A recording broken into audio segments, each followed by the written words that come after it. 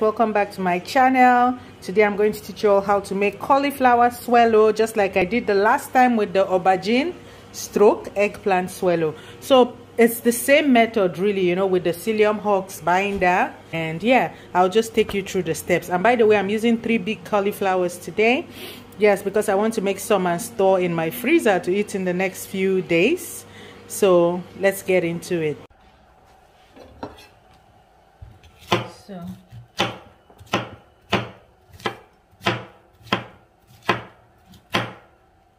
I'm cutting it into cubes because I'm going to blend it. So this is what it looks like you know.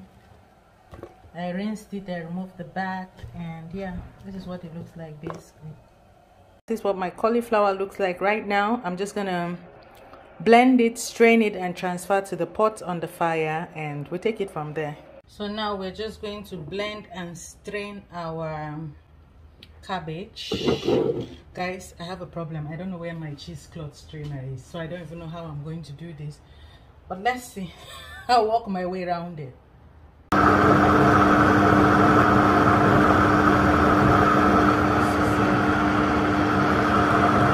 This is our blended um, cauliflower. Guys see what i did here? Because i'm too lazy to look for. Oh it's working. Oh there we go. Great because i'm too lazy to even look for my cheese strainer i'm doing like 10 million things at once right now because i'm expecting guests tomorrow. So i'm cooking. Guys this is working perfectly which is even better. So we're just going to strain it and put it in the pots.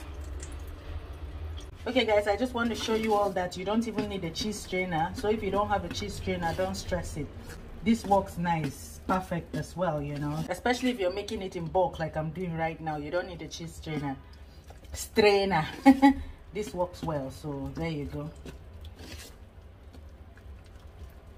I'll just leave it here for one minute and yeah. So this is what our strained cauliflower looks like.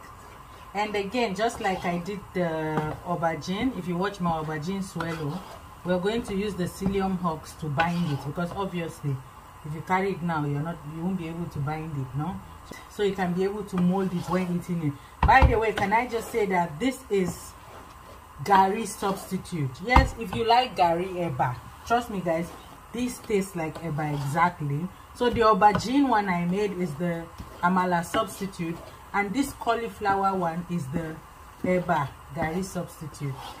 So yeah i'm just going to leave this to heat up for a bit and then we'll add the binder. This is the binder here i'm not going to add everything but i'll show you guys. You just add little by little till the consistency is okay for you. So yeah. So let's go ahead and start adding the psyllium husk powder. So like i said just little by little. You can also use um, a teaspoon or tablespoon whatever. But i'm just going to use this anyway. And add till the consistency is fine for you. And you just be stirring it you know be turning it like you do your regular swallow no your eba or whatever fufu no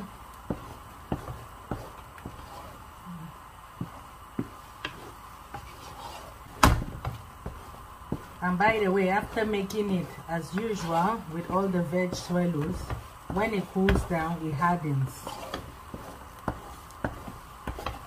so it won't be as soft as it looks right now.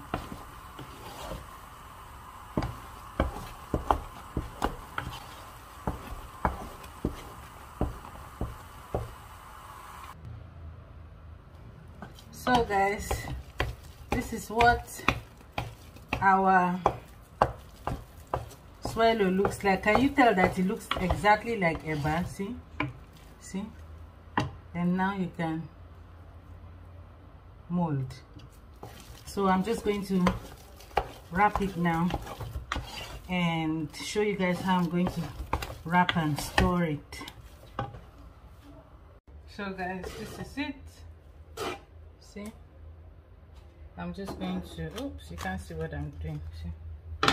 I'll just bring the camera down and show you guys see? I'm just going to pack now trust me it's like eba. Even smells like gari i kid you not. All right guys so this is what our swallow looks like. Yes trust me see how it looks like gari. I'm zooming in. Anyway guys i hope you enjoyed this video. Thank you so much for watching. Please give me a thumbs up.